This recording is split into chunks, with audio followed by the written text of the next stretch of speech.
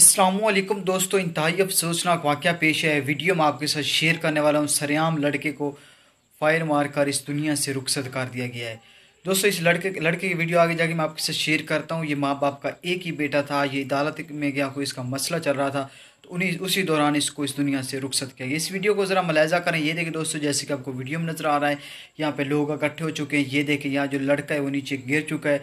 अब ये लोग जो इकट्ठे हो रही है, उसको देखने के लिए, उठाने के लिए, बचाने के लिए हो रहे हैं, इनको ये नहीं पता वो जो लड़का है, वो इस दुनिया से चल बसा है। या ठीक है, आपके खिलाफात होते रहते हैं, लड़ाई झगड़े भी होते रहते हैं, उसमें ये तो नहीं कि किसी नौजवान को इस दुनिया से रुखसत कर दो। अब जिस माँ बाप का एक बेटा था, उसके दिल के ऊपर क्या गुजरे होगी दोस्तों, ये मैंने जब देखा तो मुझे पोस्ट में यही नज़र आ रहा था, ये वाक्य डी जी खान में पेश आया। बाकी अल्लाह पाक हर किसी को हदायत दे, हर शहर में अच्छे बुरे लोग भी होते हैं, पर मैं यही कह सकता हूँ कि अल्लाह हर किसी को हदायत दे कि इतना बड़ा वाक़ या रुला देने वाला है। कोई रह रखते हो तो रह दीजिएगा।